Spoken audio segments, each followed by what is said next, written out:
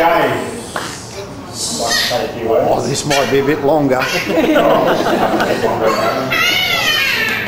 much time you got?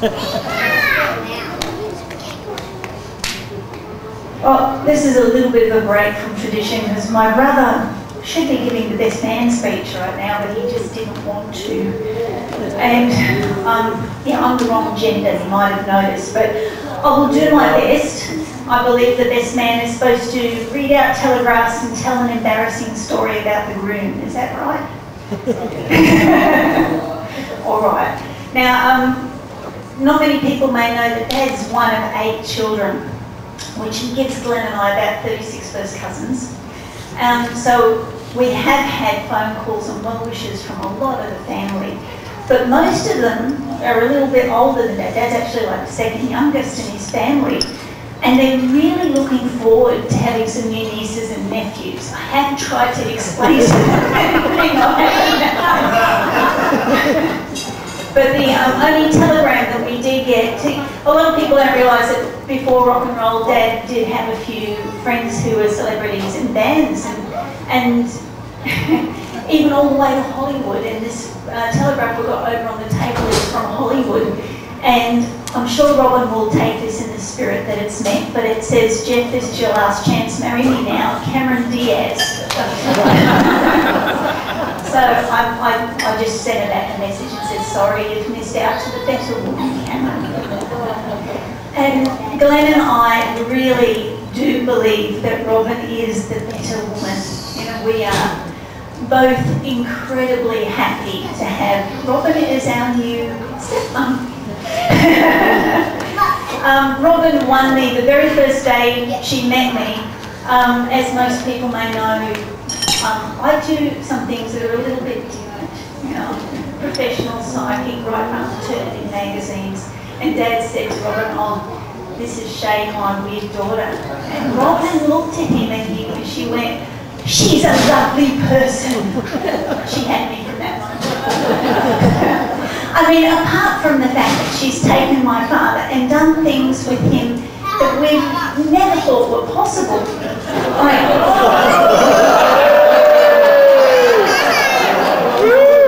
mean, trying to keep it above the waistline. Come on.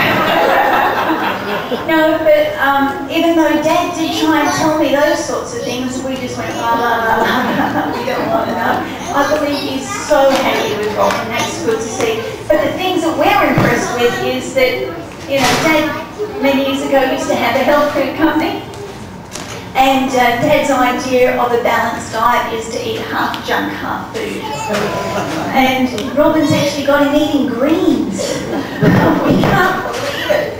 And, and the, probably the biggest achievement of, of, all that Robin has done is she's actually got him out of wearing socks and sandals.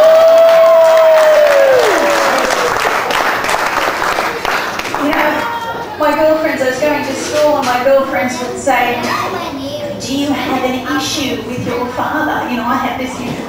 My father's, you know, they were always having these eating dramas, and I go, well, no, perhaps the only thing is that he wears socks and sandals, so I don't have that issue anymore. Thank you. But um, as far as fathers go, I've been very, very, very blessed with Dad. Um, I don't have any issues with him, you know.